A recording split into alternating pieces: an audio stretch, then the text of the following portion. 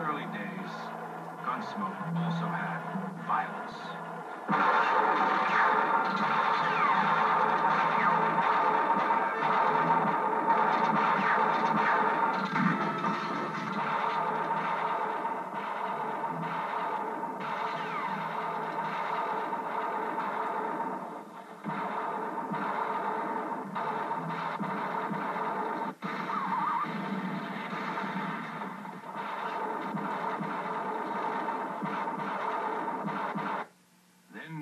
Newton came along, and violence came to an end.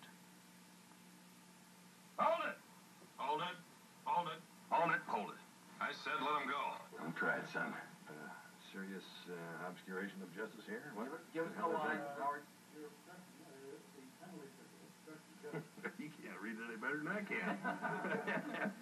Run that down again, sir. Sixty-eight easy, two.